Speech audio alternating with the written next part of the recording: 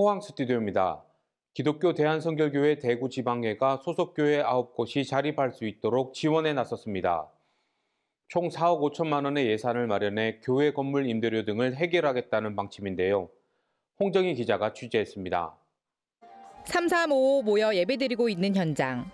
여기는 기독교 대한성결교회 대구지방에 소속 한 교회입니다. 규모가 크지 않다 보니 교회 운영에 어려움을 토로했습니다.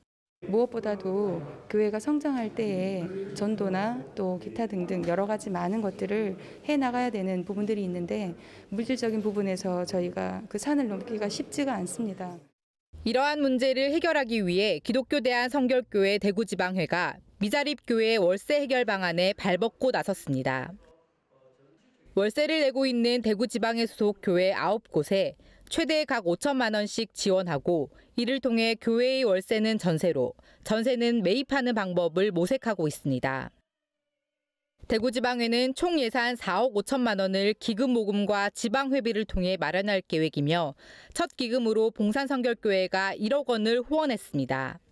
현재 우리 대구지방의 확장위원회 또 기금과 또 어, 대구지방의 또 지방회비를 또 0.5% 올려서 4년 안에 한 3천만 원 또 만들어내는 또 이런 것들과 또 지방의 또 큰 교회들이 또 재원을 또 확보해서 앞으로 이 프로젝트를 잘 진행할 수 있도록 그렇게 하겠습니다.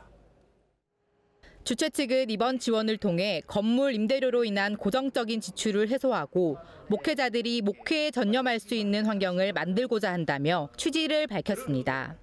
저희가 바라고 소원하는 것은 목회자들이 다른 것에 신경 쓰지 않고 성도들을 사랑하고 성도들 가정을 쳐다보고 그들을 위해 기도해주고 또 어, 하나님께 매달려 목양하는 데 전념할 수 있도록 도와주자는 거죠.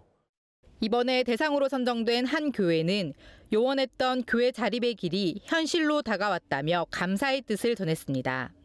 또 우리 교회도 또 스스로 자립할 수 있겠구나라는 그런 희망이 생겼습니다. 구구동에 이렇게 준비하는 교회는 저희들이 목회에만 집중할 수 있는 네, 시작점이 되었다고 봅니다. 안정적인 교회 운영을 통해 미자립 교회들이 교회로서의 역할을 힘있게 펼쳐나가길 기대합니다. CTS 뉴스 홍정입니다.